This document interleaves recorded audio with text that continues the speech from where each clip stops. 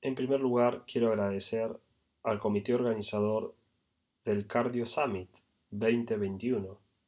Mi nombre es Juan Manuel Bonelli, soy médico cardiólogo, especialista en resonancia magnética cardíaca y angiotomografía, tanto en pacientes adultos como en pacientes pediátricos.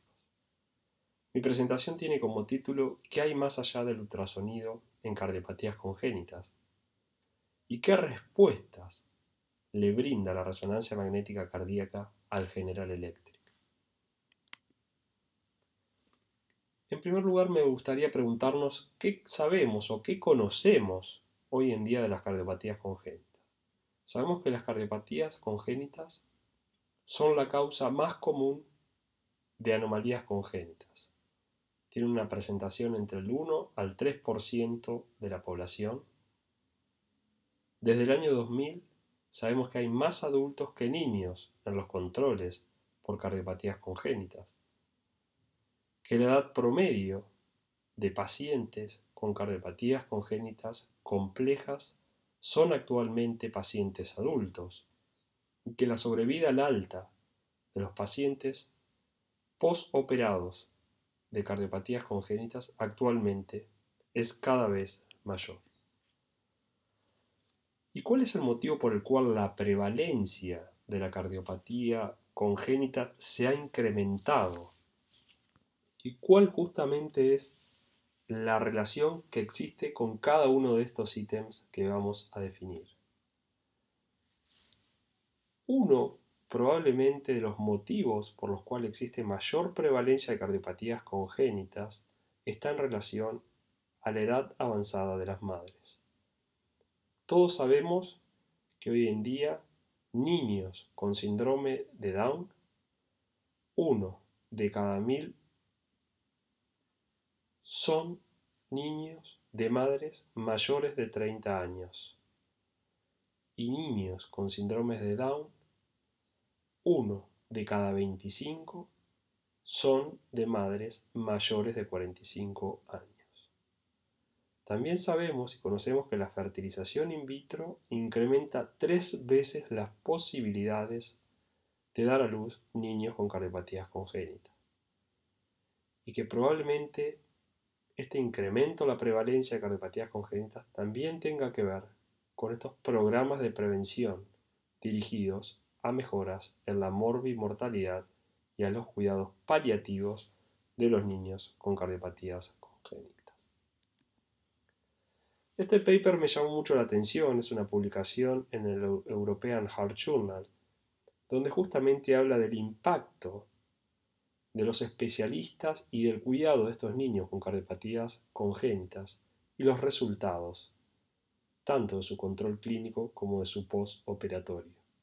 Observen ustedes que cuando estos niños o adultos son manejados justamente por médicos cardiólogos clínicos no especializados en cardiopatías congénitas, realmente la incidencia de errores y consecuencias malignas son muy altas.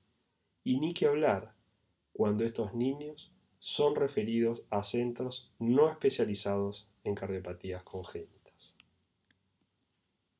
Un ejemplo típico de este error de gestión en la atención de no especialistas ha llevado, por ejemplo, como en este gráfico, a que el reemplazo oportuno de la válvula en la atención especializada, por supuesto, va a preservar la función y probablemente tenga muy buen resultado si este recambio es oportuno. Ahora, la reposición valvular tardía en la atención de aquellos cardiólogos no especializados en cardiopatías congénitas, es probable que lleve a problemas como son dilatación y disfunción del ventrículo derecho, probablemente con resultados deficientes. Entonces la gran pregunta es, ¿Qué método solicito en cardiopatías congénitas? Esto me parece muy interesante, esta gráfica. Observen ustedes, esto es una diapositiva de nuestro eh, centro, donde nosotros trabajamos, por ejemplo, con un carro de anestesia MRI compatible, con un equipo de anestesistas especializados en cardiopatías congénitas. Generalmente trabajamos con monitor multiparamétrico, donde tenemos justamente la obtención del trazado electrocardiográfico, capnografía, oximetría y medición de tensión arterial no invasiva, todo con señal Bluetooth. Utilizamos generalmente en niños muy pequeños, neonatos y pediátricos, bobinas flexibles, con bobinas de tórax o especializadas, bobinas cardíacas en pacientes adultos con cardiopatías congénitas. Y muchas veces la elección del método tiene que ver con la disponibilidad del centro y la experiencia también del médico operador. Entonces vayamos viendo en qué situaciones uno debe elegir uno u otro método. Por ejemplo, contar con un muy buen plantel de anestesistas es algo fundamental. Y como les decía, contar con un encargo de anestesia también lo es. Es fundamental a la hora de elegir un método conocer la edad del paciente. Por supuesto que en pacientes con síndrome de Down o en pacientes que no tienen buenas respuestas a las órdenes simples, vamos a requerir anestesia. Y bueno, recuerden ustedes que la resonancia es un método más prolongado que la tomografía, así todos los datos que brinda, ya vamos a ver, son diferentes. Si por ejemplo uno quiere valorar flujos y gradiente, por supuesto que el método de elección es la resonancia magnética cardíaca. Si uno quiere valorar permeabilidad de stent, el método ideal o fracturas de stent el método ideal es la tomografía, la angiotomografía. Así todo vamos a ver que tenemos casos realizados en donde nosotros controlamos permeabilidad de stent en grandes arterias con resonancia. Si uno quiere valorar un conducto o un tubo calcificado, recuerden ustedes que la calcificación no es un buen amigo o un buen compañero del resonador, con lo cual el método es la tomografía cardíaca. Si uno quiere valorar volúmenes ventriculares, conocemos que el método gol estándar es la resonancia, a pesar de que hoy en día, con adquisiciones retrospectivas por tomografía, podemos cuantificar también volúmenes ventriculares, no por supuesto con la misma sensibilidad y especificidad que lo realiza la resonancia. Por supuesto que en pacientes inestables hemodinámicamente, en los cuales necesitamos definir en forma urgente un diagnóstico, seleccionaríamos en este caso un método con alta resolución temporoespacial y muy veloz como es la angiotomografía.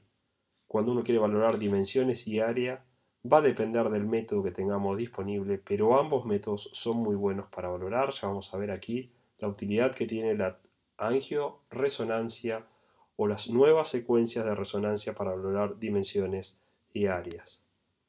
Con lo cual, la gran pregunta ahora es qué parámetros anatómicos, funcionales y o hemodinámicos nos aporta la resonancia magnética cardíaca.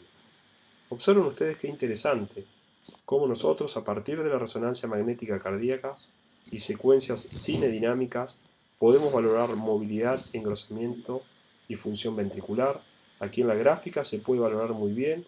Estas son imágenes en eje corto secuencias cinedinámicas donde valoramos muy bien y vemos la función ventricular. O en esta otra imagen, un posoperatorio alejado de tetralogía de Fallot, observen ustedes el cabalgamiento de la aorta sobre el septum y la insuficiencia valvular aórtica en un paciente también, por supuesto con un, una reparación del defecto septal interventricular y con una insuficiencia valvular aórtica.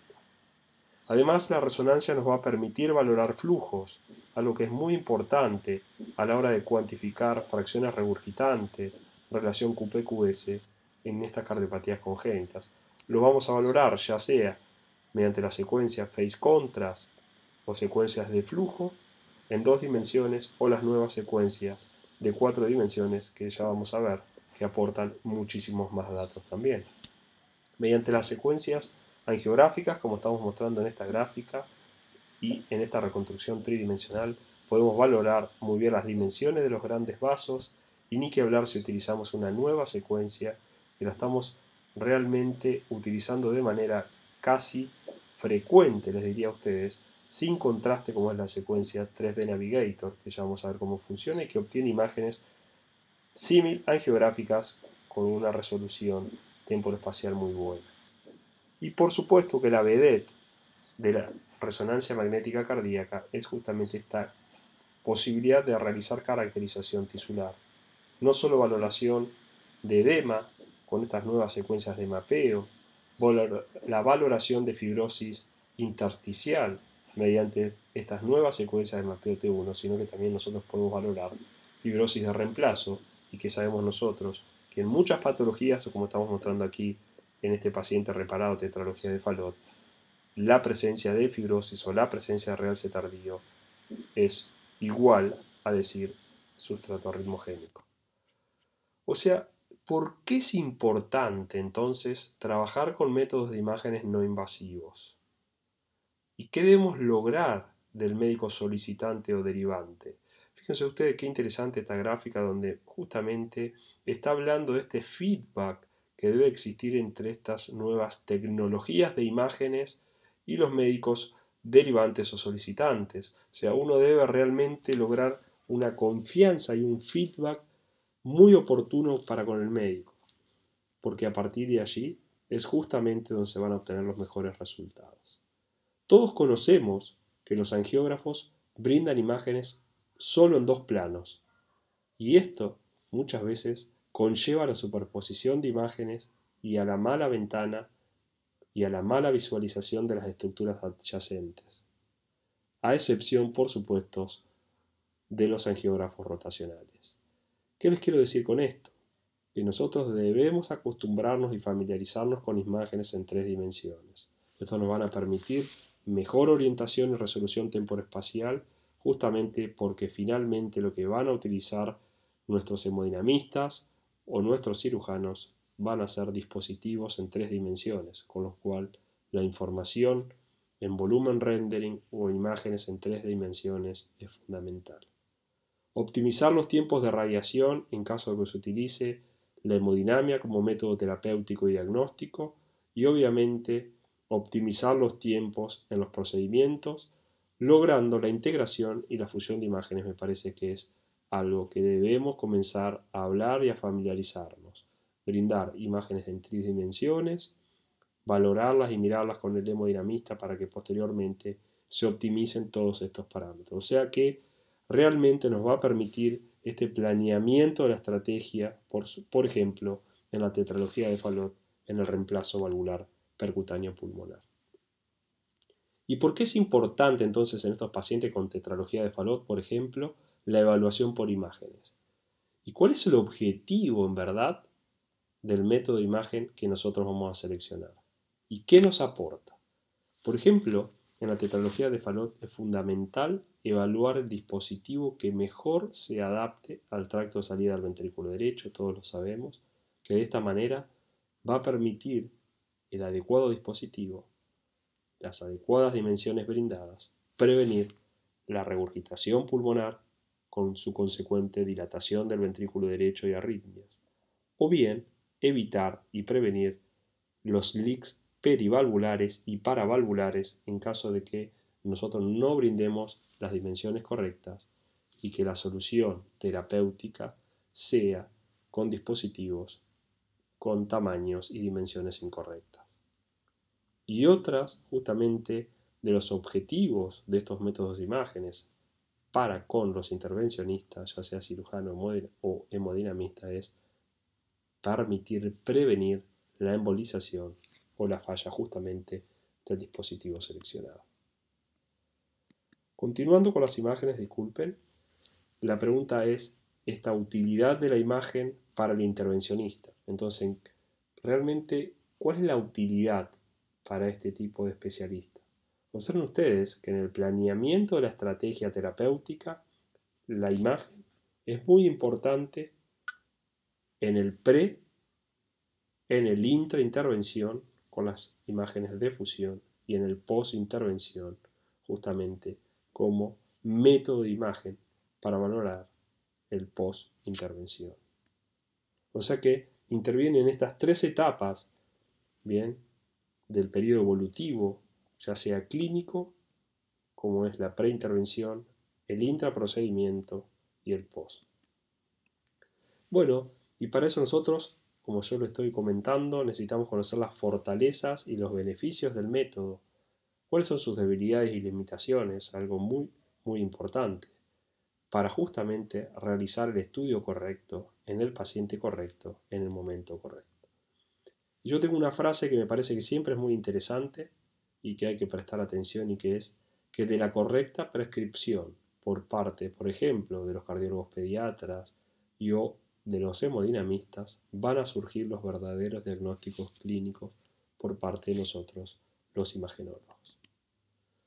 Justamente la pregunta es, ¿la resonancia cuánto o el, o el protocolo de estudio o el protocolo de adquisición, cuánto tiempo uno utiliza el resonador o cuál es el tiempo en el cual uno comienza y finaliza el protocolo de estudio. ¿Cuánto dura realmente? Miren ustedes, nosotros tenemos secuencias o ya protocolos, vamos a decir, de adquisición en los cuales si utilizamos todo el protocolo de estudio desde los localizadores, las secuencias cines, los mapeos T1 y T2, pre y post contraste, realizamos perfusión o secuencia TRIX, el eje corto, el lag locker para valorar los tiempos de inversión para el posterior, valoración del realce tardío, y la valoración del volumen extracelular con el T1 post contraste, estamos aproximadamente entre 30 a 35 minutos de adquisición.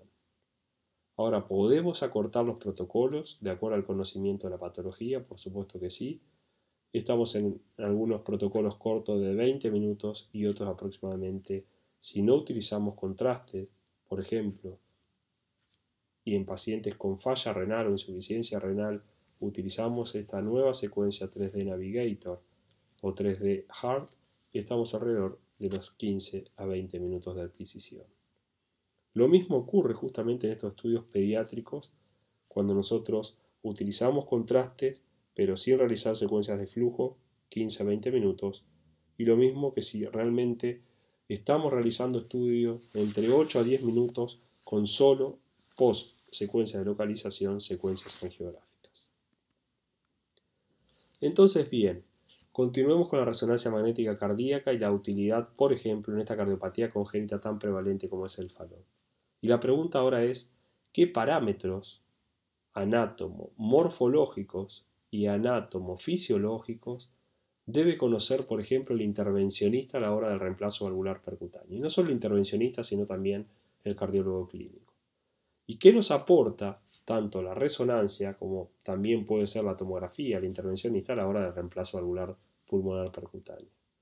Observen ustedes, si nosotros necesitamos definir la indicación del recambio valvular pulmonar percutáneo, ¿qué parámetros fisiológicos aporta? Por ejemplo, la resonancia es brinda la valoración de volúmenes y masa,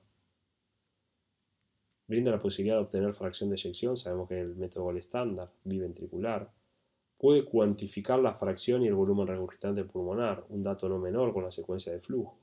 Puede calcular muy bien la fracción y el volumen regurgitante tricuspidio también, y la presencia y extensión de fibrosis con la secuencia real y tardía. Estos serían parámetros fisiológicos. Ahora también, tanto el clínico como el hemodinamista o el cirujano va a requerir de, de parámetros anátomo-morfológicos. Ahora ya bien, no solo para definir la indicación, sino también para guiar el tipo de tratamiento. Y por ejemplo, dentro de esos parámetros anatomomorfológicos, vamos a tener que cuantificar y valorar la morfología del tracto de salida del ventrículo derecho, el tronco de la arteria pulmonar y sus respectivas ramas, la forma, tamaño, dimensión y distensibilidad del tronco de la arteria pulmonar, ahora vamos a ver que existen diferentes tipos. Bien, evaluar la zona de anclaje o landing zone, fundamental, Recuerden ustedes que existen anomalías coronarias que pueden complicar la indicación de un tratamiento percutáneo. Como les dije, conocer la anatomía de ambas ramas pulmonares, disposición y anatomía de arterias coronarias. Y en verdad debemos crear y seleccionar modelos y prototipos de dispositivos en tres dimensiones. En verdad, lo que uno busca con este tipo de imágenes es evitar este mismatch anatomía-dispositivo percutáneo conociendo, como dijimos, desde el punto de vista anatómico, la morfología del tracto salida del ventrículo derecho y el dispositivo, en este caso, la válvula pulmonar percutánea o sea que nosotros debemos elegir el dispositivo adecuado para el sitio adecuado. Y eso es un poquito la finalidad.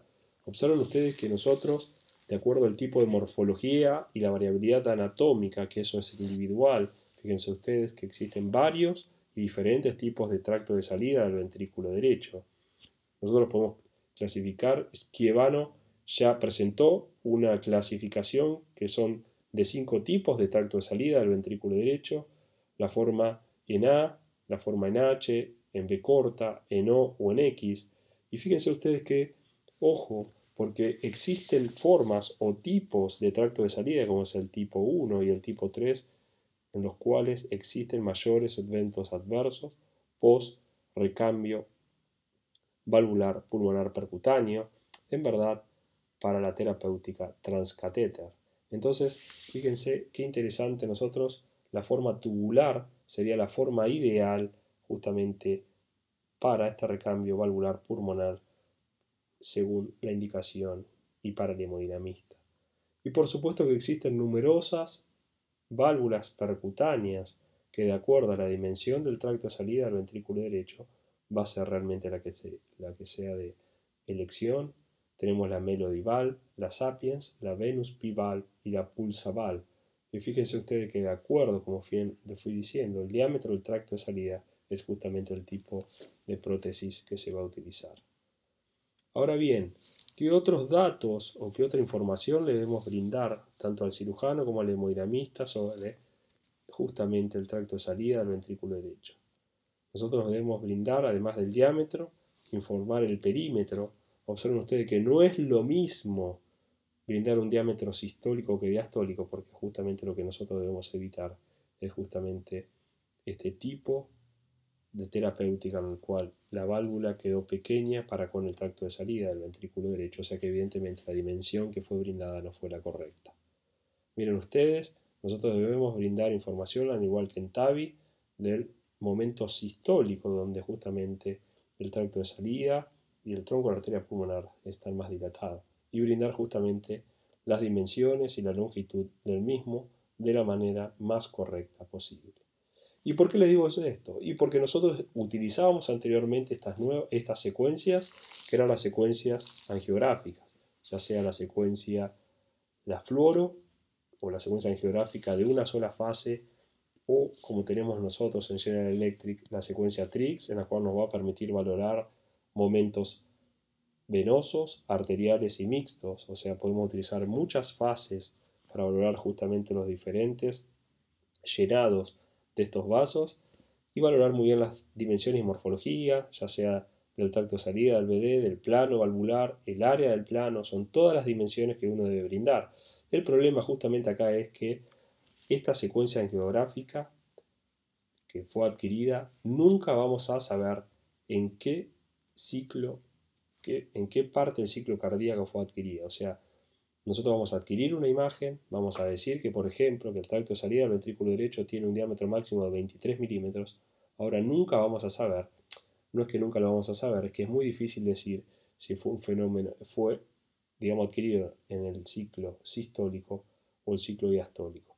Para ello, la solución actualmente justamente son estas nuevas secuencias tridimensionales, secuencias 3D cine en los cuales nosotros podemos gatillar el estudio y realizar imágenes símil angiográficas y poder brindarle al hemodinamista el diámetro mayor justamente en el fenómeno o en el ciclo cardíaco sistólico. Me parece que eso es muy interesante. Aquí nosotros hoy en día ya podemos valorar mucho mejor la morfología del tracto de salida y realmente brindar la información correcta. Interesante, miren ustedes, este protocolo, por ejemplo, en el cual fue solicitado la, medición del tracto de salida del ventrículo derecho, tronco arteria pulmonar, el área valvular pulmonar y otras dimensiones que van a ser requeridas a la hora del reemplazo valvular percutáneo. Nosotros solo utilizamos una secuencia de localización, una secuencia cine, hicimos la imagen 3D Hard o 3D Navigator y pudimos brindar una muy buena información angiográfica en estos pacientes portador de tetralogía de Fallot. Y aquí es muy importante hacer un stop. Entonces, no solo para el clínico, el hemodinamista, y el cirujano, la información es escuchen al imagenólogo, sepan interpretar las imágenes tridimensional o en volumen rendering y la información que le brinda el, el imagenólogo para posteriormente actuar en la intervención de manera correcta. ¿Qué otro dato o qué otro parámetro va a requerir, por ejemplo, el hemodinamista o el cirujano a la hora ya sea del reemplazo valvular percutáneo o el reemplazo valvular quirúrgico? Bueno, fíjense ustedes, ojo, que muchas veces existen anomalías coronarias, estas anomalías tienen orígenes y trayectos anómalos entre, por ejemplo, el tronco de la arteria pulmonar, o sea, cursos interarteriales, como es esta arteria descendente anterior, que probablemente en pacientes con estenosis pulmonares o con problemas a nivel del tracto salida, al ventrículo derecho, o con pacientes con falot, es complicado definir realmente la terapéutica con estos nacimientos y trayectos anómalos.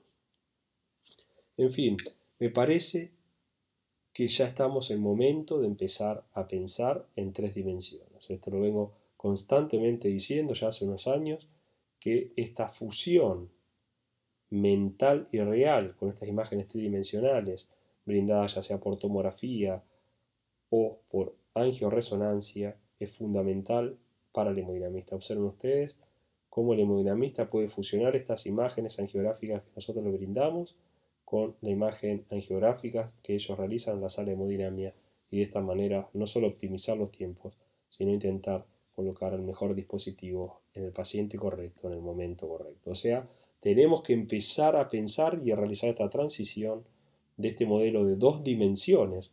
Observen ustedes, por ejemplo, esta estenosis de esta rama izquierda, la arteria pulmonar en dos dimensiones, y cambiar el pensamiento y pasar justamente a una visión en tres dimensiones.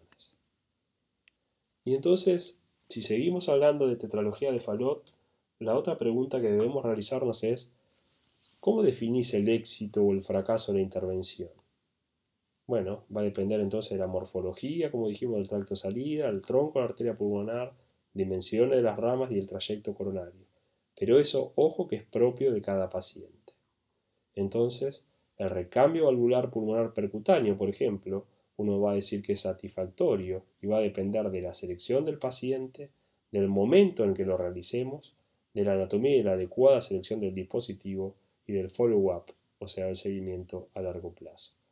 Justamente la resonancia lo que nos brinda, lo que siempre nos dicen los protocolos y los consensos, es que pacientes, por ejemplo, con volúmenes telesdiastólicos indexados mayor de 150 ml barra metro cuadrado, o los volúmenes telesistólicos indexados del ventrículo derecho mayor a 80 85 mililitros barra metro cuadrado deberían tener indicación del recambio valvular pulmonar percutáneo. Entonces, algunos de los datos que brinda justamente este método. Y aquí les quería mostrar un caso de un paciente, por ejemplo, fue realizado en diciembre del 2015 en una tetralogía de Falot y fue comparado post intervención con reemplazo valvular percutánea.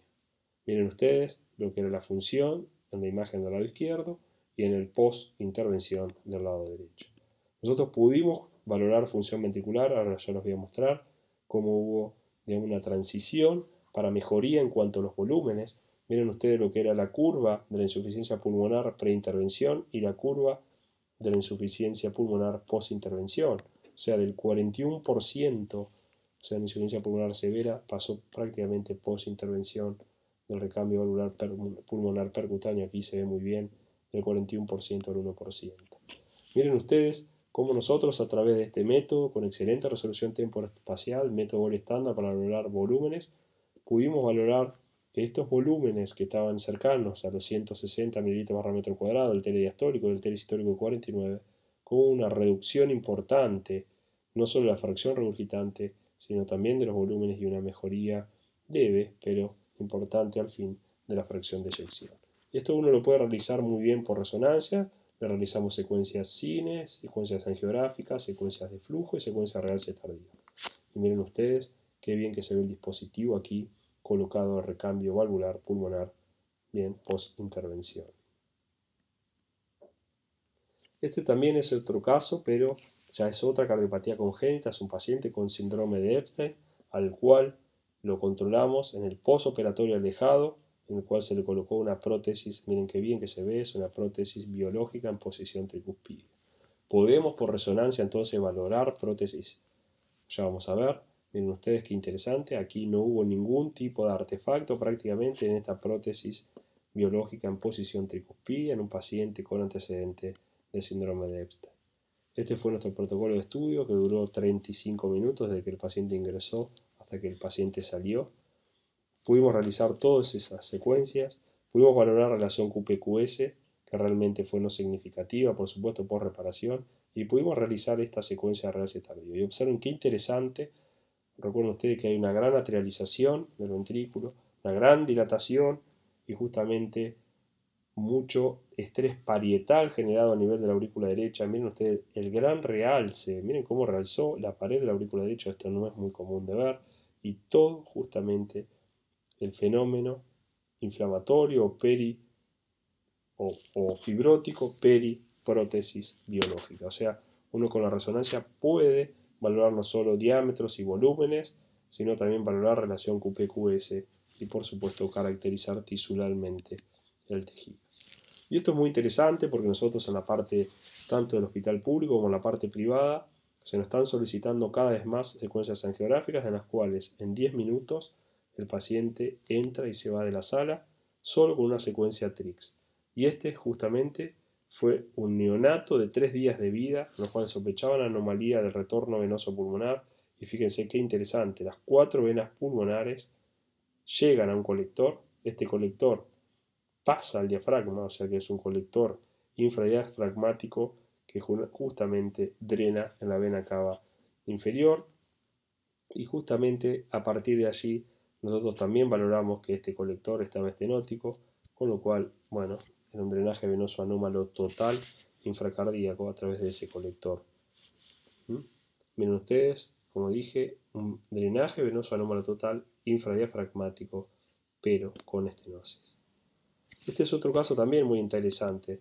Observen ustedes, es una prótesis valvular pulmonar en, posición pulmonar, pero es una prótesis biológica. Y nosotros pudimos, con estas secuencias 3D Navigator, poder navegar y obtener dimensiones y valorar justamente el aposicionamiento de la estructura de esta prótesis valvular sobre la pulmonar.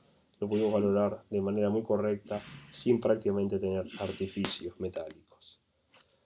Otra de las indicaciones en cardiopatías congénitas de la resonancia justamente es la valoración de la coartación de aorta, justamente dónde está ubicada, si hay presencia de circulación colateral, si existe gradiente, dilatación postestenótica. Bueno, muy interesante, este es un chico de 22 años de edad, bien, en el cual encontramos una coartación significativa, por supuesto, post subclavia izquierda, miren la gran dilatación de la subclavia, miren el sitio de la coartación, se realizó la secuencia de flujo y se valoró se observó muy bien el jet de aceleración. Cuando realizamos la secuencia geográfica, muy interesante, la gran circulación colateral, el gran desarrollo de circulación, por justamente la gran cronicidad de esta patología en este paciente, la dilatación postestenótica. Y bueno, y lo más interesante es que nosotros podemos brindar tanto al hemodinamista como al cirujano las dimensiones, los diámetros pre, intra, post coartación y la longitud, por ejemplo, teniendo en cuenta el ostium de la subclavia izquierda. Por otro lado, este es otro caso muy interesante. Observen ustedes, este es un paciente que hicimos en el hospital público. Era un paciente con una atresia tricuspide, o sea, no había comunicación entre la aurícula derecha y el ventrículo derecho. Y en este paciente es muy interesante porque se realizó una cirugía de un argentino, es una cirugía que se denomina Fontan-Kreuser. Y no es más que justamente la derivación desde la aurícula derecha de ambas ramas pulmonares. O sea, hay una conexión del tronco prácticamente o de ambas ramas pulmonares a la aurícula derecha. Entonces esta aurícula derecha actúa como si fuese obviamente el ventrículo derecho, se dilató y generó justamente algo que fue muy interesante observar, que fue la presencia de trombos, bien cerca a la orejuela y un trombo muy cerca de la vena cava inferior. Este paciente tenía un situs solitus atrial bronquial abdominal, una levocardia con levoapex y había una concordancia atrioventricular, pero con atresia la tricuspida y esta derivación de aurícula derecha pulmonar, o sea, tronco arteria pulmonar conocida, como dije, con, como cirugía de Fontan-Kreuser, con un BD hipoplásico y una comunicación interventricular con un arco aórtico izquierdo. O sea, uno puede describir de manera muy correcta todo este tipo de intervenciones. Este es un caso que también lo mostré en el Summit de Radiología, mujer de 27 años de edad, paraguaya, que a los 6 meses de vida por una atresia pulmonar más 6B más ducto arterioso pulmonar se le hizo el diagnóstico a los 6 meses de vida. A los meses de vida se le hizo una anastomosis subclavio pulmonar izquierda a los tres años se le cerró el ductus y se colocó un tubo valvulado BDAP, o sea, del ventrículo derecho de la arteria pulmonar, de 14 milímetros, se le cerró la 6B, pero a los 14 años hubo que realizar una angioplastia con estén al tubo BDAP. Y la pregunta es, si tenía una atresia pulmonar, ¿por qué se le tuvo que colocar un tubo BDAP y no realmente se le hizo una ampliación al tracto de salida? Y ahora vamos a ver justamente el por qué. Y lo interesante es, miren ustedes, hay una doble salida del ventrículo derecho a través de un tracto nativo. Aquí algo existe, observen ustedes, y el tubo BDAP. Este tubo BDAP se estenosó, motivo por el cual se tuvo que colocar un stent, que aquí se ve muy bien, o en esta imagen de abajo que ahora vamos a ver, aquí tenemos el stent, y en realidad lo que este paciente tenía, y se ve muy bien en esta imagen, es esta anomalía de la arteria descendente anterior naciendo del seno coronario derecho con un trayecto interarterial, en verdad, entre la aorta bien, y la pulmonar, y posteriormente justamente quedó este tubo BDAP entre medio. Fíjense ustedes, de la aorta, la, de, la coronaria descendente anterior y el tubo con el estén. Entonces, nosotros podemos valorar muy bien la permeabilidad del estén, en este caso, eh, comparándolo con una imagen angiotomográfica, como digamos, uno dice, bueno, existe la, presencia de una imagen metálica, probablemente medio artificio, ¿no? Nosotros pudimos valorar muy bien ese stent en el tubo, BDAP se pudo valorar muy bien con la secuencia 3D Navigator, o sea, aquí no realizamos inyección de contraste, sino que con esta secuencia similar geográfica pudimos justamente valorar esta anomalía de la arteria descendente anterior. Fíjense qué interesante cómo transcurre entre la pulmonar nativa o tracto de salida nativo y el tubo de DAP.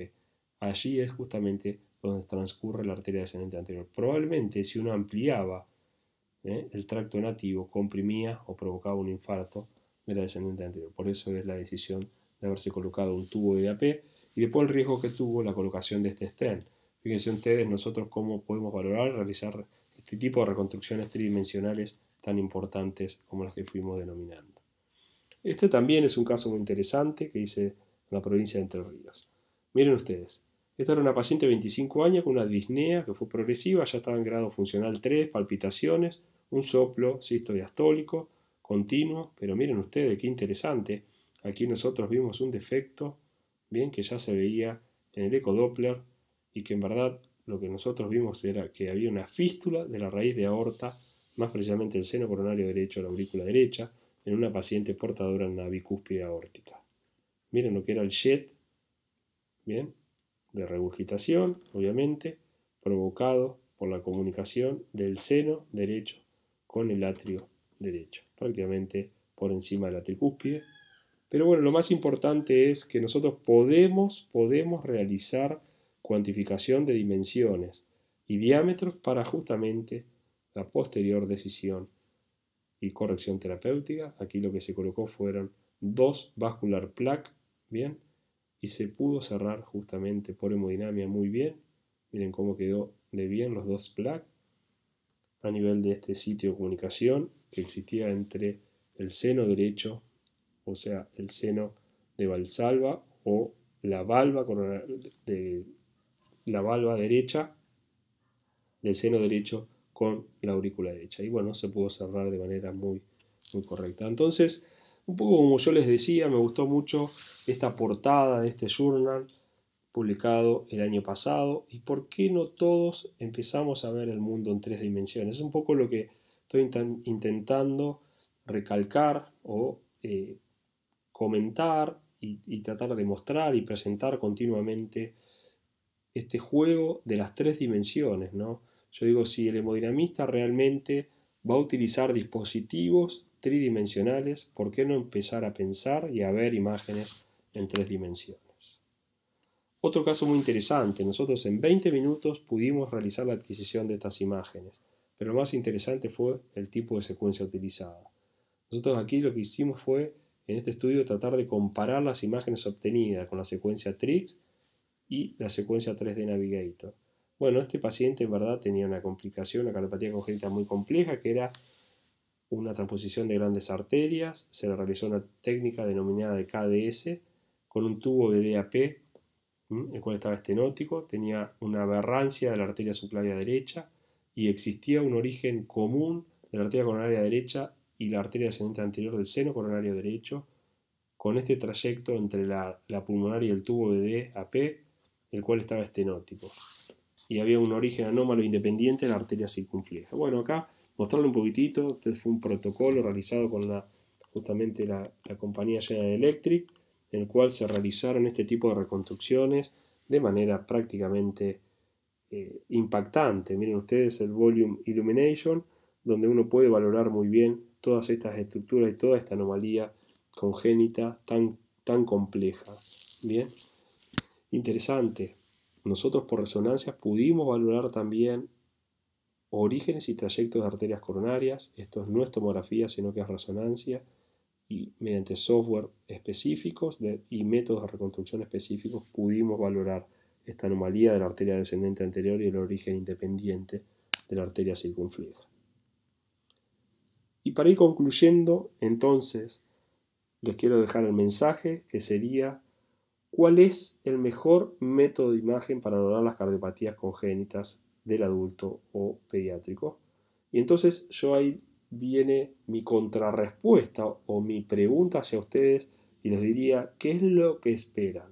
¿O cuál es el objetivo de ustedes en la cardiopatía congénita para con la imagen cardiovascular? O sea, ¿qué es lo que espera o cuál es el objetivo del cardiólogo especializado en cardiopatías congénitas para con la imagen cardiovascular?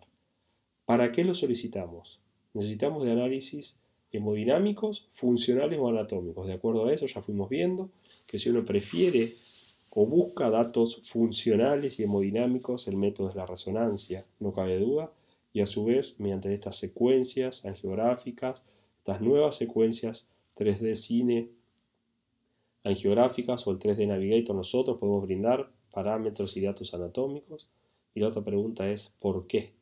Y bueno, justamente Dada la complejidad de ciertas cardiopatías congénitas, es indispensable, me parece, hoy en día, contar con herramientas diagnósticas no invasivas que tengan una alta resolución temporoespacial que nos va a permitir justamente caracterizar adecuadamente la alteración de la cardiopatía congénita en cuestión. Un nuevo stop y realmente este es, en fin, mi pensamiento. ¿Cuál es el rol de las multi imágenes en cardiopatías congénitas?